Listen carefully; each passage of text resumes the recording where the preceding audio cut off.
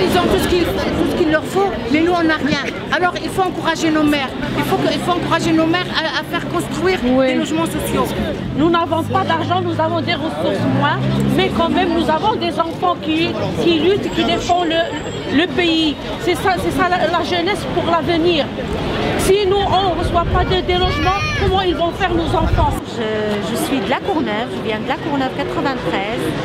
On veut bien logements sociaux pour tous, pour tout le monde, parce qu'on est en galère. J'espère que ça va s'améliorer. Oh, ça fait ça fait longtemps, presque depuis 2009. Jusqu'à maintenant. On a fait tout le nécessaire, les démarches et tout. J'espère que ça va s'arranger. Donc aujourd'hui, nous sommes venus en, délégation avec euh, plus de 19 maires et, beaucoup d'habitants. C'est euh, une initiative réussie devant la région contre les décisions de la région de supprimer la possibilité de financement aux villes qui ont plus de 30% de logements sociaux.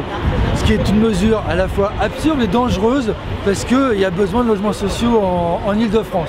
Nous avons donc rencontré Geoffroy Didier, le vice-président euh, républicain chargé de la question du logement. Nous avons obtenu quand même, avec la mobilisation, qu'il rajoute de l'argent dans le cadre du budget qu'ils vont voter ce soir, qu'il rajoute des millions sur le PLAI.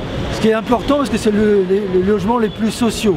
Et il s'est engagé aussi que s'il ne dépensait pas, parce que nous lui avons fait la démonstration qu'il ne dépensera pas son budget, parce que les mairies de droite qui ne veulent pas de logements sociaux en construiront pas, et qu'il n'y a pas besoin de PLS, parce que les demandeurs de logements ont besoin de logements sociaux et pas de logements très chers. Et donc, il a tombé d'accord sur l'idée que s'il ne dépensait pas son budget, il pourrait le reconvertir sur du logement social. C'est un acquis.